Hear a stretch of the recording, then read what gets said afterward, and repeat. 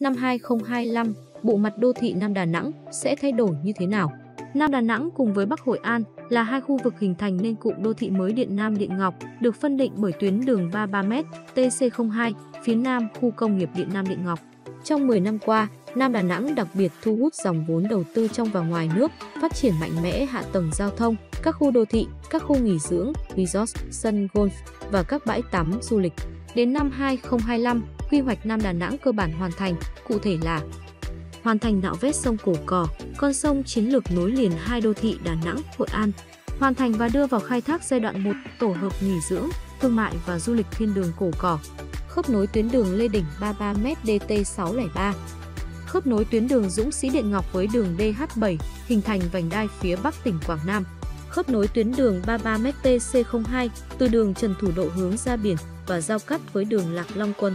hoàn thành tuyến đường 27m nối đường DT603 với đường TC02, khớp nối đường Văn Tiến Dũng từ đường Trần Hưng Đạo tới đường Dũng Sĩ Điện Ngọc, xây dựng 3 trong số 15 cây cầu bắc qua sông Cổ Cò thuộc địa phận tỉnh Quảng Nam, đó là cầu Viêm Minh trên đường Dũng Sĩ Điện Ngọc, cầu Bãi Rồng 1 trên đường 27m và cầu Bãi Rồng 2 trên đường TC02.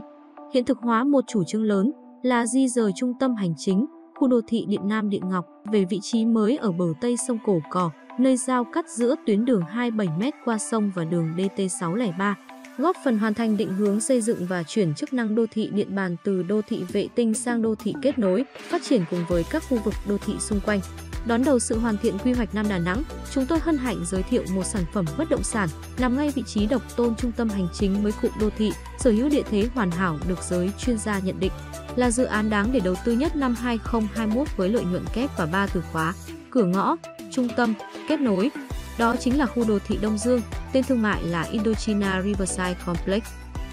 Dự án được quy hoạch trên khu đất rộng 22,6 ha với 497 sản phẩm là đất nền liền kề và 40 căn shop house. Quy hoạch dự án được áp dụng theo chuẩn đô thị kiểu mẫu sau 2020 với 100% hệ thống đường điện và cáp âm, các trục đường có độ rộng từ 15m5 trở lên. Tỷ lệ đất ở toàn dự án chỉ chiếm 26,5%, còn lại nội khu bố trí đầy đủ các tiện ích dân sinh, kết nối ngoại khu hoàn hảo và đẳng cấp.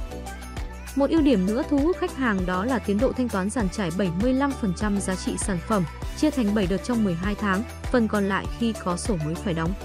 Hiện tại, chủ đầu tư đang mở ưu tiên 157 nền với tổng chiết khấu lên đến 9%, mức đầu tư ban đầu từ 1,8 tỷ một lô. Thông tin chi tiết về dự án, nhà đầu tư vui lòng liên hệ hotline tư vấn miễn phí. Cảm ơn quý vị và các bạn đã theo dõi. Xin chào và hẹn gặp lại!